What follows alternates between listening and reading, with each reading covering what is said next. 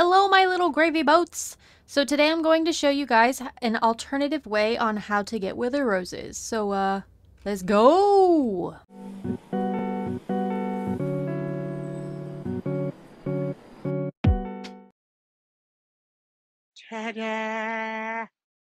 So for the 2x2 design, you're going to need at least three or so boxes, shulker boxes of eggs and of course, you're going to need your items to spawn in the wither four soul sand and three wither skeleton heads. And then you're also going to need one splash potion of poison, which is one nether wart, one spider eye, and then a gunpowder. Okay, you're gonna need two people for this. One that's up top here, spawning in the chickens. For this design with the one block, it took one shulker plus one row of chicken eggs.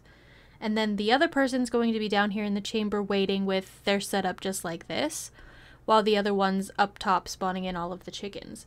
Now, due to mob cramming settings on servers, it could be more or less eggs.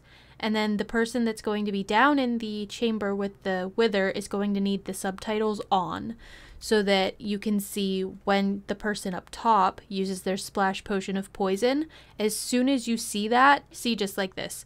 The second person in the chamber is going to want to place that third wither skeleton head and then back up so that you don't get damage from when the wither explodes. Which the explosion is what kills the chickens and gives you your wither roses. So with this method here, you can get 44 to 66 wither roses. It will definitely depend based on how many chickens and whatnot that you have. Another message from the interruption potato.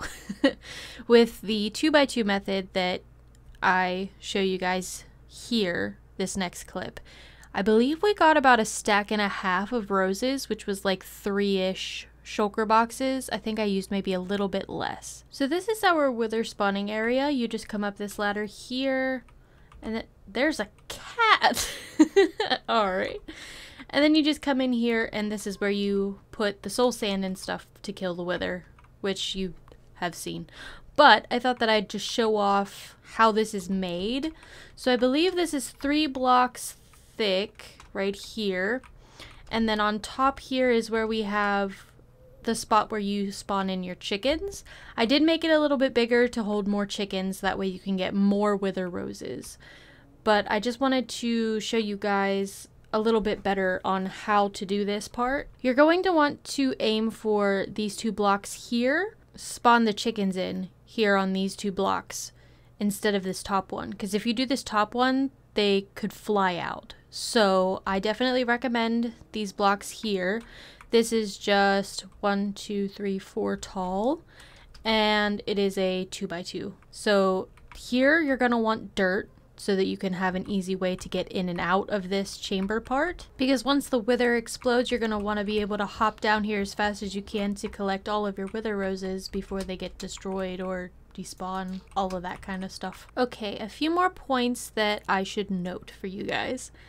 So for Java Edition, Make sure you only have two people because it makes it a lot harder to get the roses if you have more than two. If two are throwing the eggs, then you're more likely to kill the chickens. And if there's two people in the wither killing chamber, then you may kill each other. It has happened. um, if you are in Bedrock Edition, having a third person in the wither killing chamber could be really helpful because when the wither's health bar gets halfway down, it spawns in wither skeletons. So that could definitely be really helpful to have somebody killing them while the other is killing the wither. In 117, the wither's health bar gets full first and then has the explosion. And then before 117, there's just an explosion. So that's just a couple other little things that I thought I should add for you guys to know. Okay guys, that's all I have for you today. If you liked it, please demolish the like button gently and if you want, you can also subscribe and become a little gravy boat. But yeah, I will see you guys in the next one. Bye!